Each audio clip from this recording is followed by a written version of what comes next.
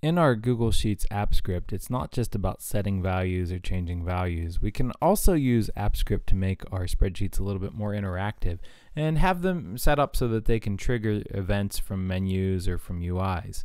So when we talk about UI, what we really mean is user interface. UI is a pretty common abbreviation in programming, and that's just what the user sees. So in order to react, we, we have a couple of events. And, and events in our app script, they're just functions. So we can create a function called onOpen or a function called onEdit. Uh, and what that ha what happens then is every time the spreadsheet is opened, we call this onOpen spreadsheet. And every time the onEdit function or on ed or every time some cell is edited, we call this onEdit function.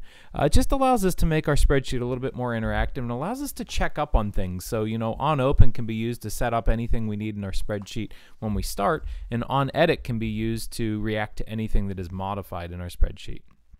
Now, one thing that we might want to do in on open is create a menu. So we can actually use uh, the the spreadsheet app.getUI to create menus within our application.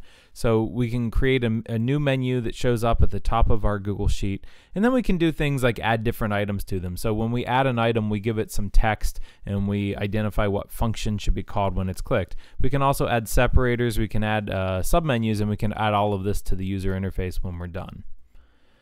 We can also show prompts. So using prompts, we might want to show a button set, and we can have uh, the prompt show an OK button, an OK cancel button, or a yes no or yes no cancel. Uh, and using that, you know, you can see in the spreadsheet app.getUI, we have these button set objects. They're defined already. So spreadsheet app.getUI button set OK cancel will give us that particular set of buttons. And we can use those when we actually show alerts. So you can see here, if we use spreadsheet app.getUI, we can alert with some information.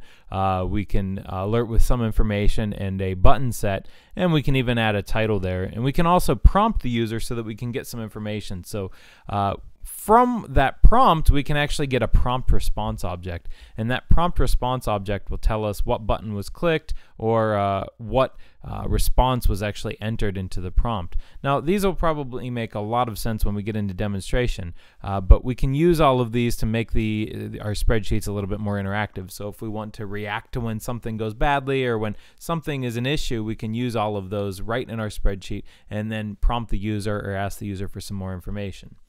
We can also run a script from a button. When we insert a drawing, we can create a button in that drawing, and then on the button itself, we can assign a script to that. And what that allows us to do is to enter a function that will be called when we actually or click that drawing. So this allows us to make our spreadsheet a little bit more interactive. In, in, addition to getting prompts or using prompts to get information from the user or alerts to show the information to, to a user, you can also use these drawings as, as well as menus to, to take some click from the user, have the user initiate something in your spreadsheet.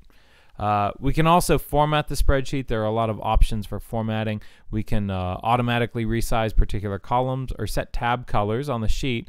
Uh, and we can change things in ranges as well. We can change background colors. We can set particular borders. We can change the font. We can set font colors or size. We can even change the font weight to bold or normal or the font style. So we'll take a look at how all of these things work so that you can actually change the interface of your spreadsheet using AppScript and kind of build more of an application type of uh, interface within your spreadsheet. Thanks for watching.